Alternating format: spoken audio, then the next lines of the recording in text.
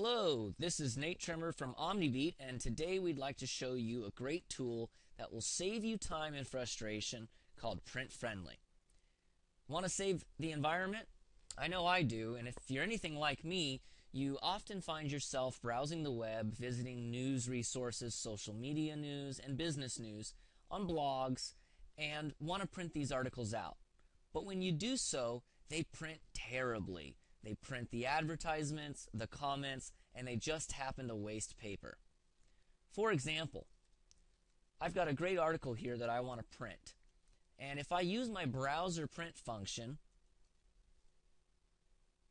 it's going to be nine sheets long in this preview. It's got a bunch of white space.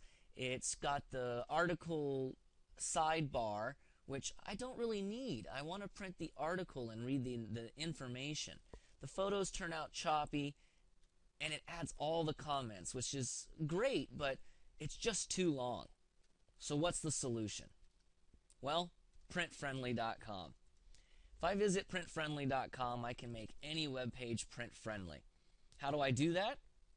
I just need the URL.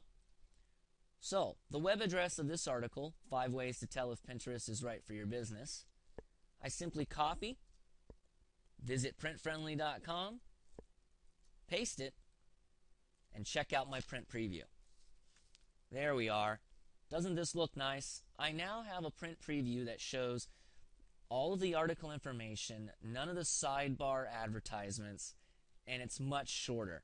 In fact, if I click the print button, it'll give me a print preview, which is now only three sheets. And the information is all there. It's much larger, it's easier to read, and it's going to be a bet- much better experience. Not only can I print in a much cleaner way, I can actually edit what I want to print. I can remove all the images by simply clicking here, and now I've got just the content.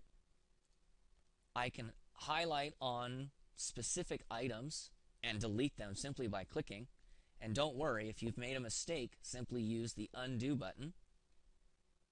And I have a much better viewing experience and will have a much better reading experience later on. Now, do I want to print to paper?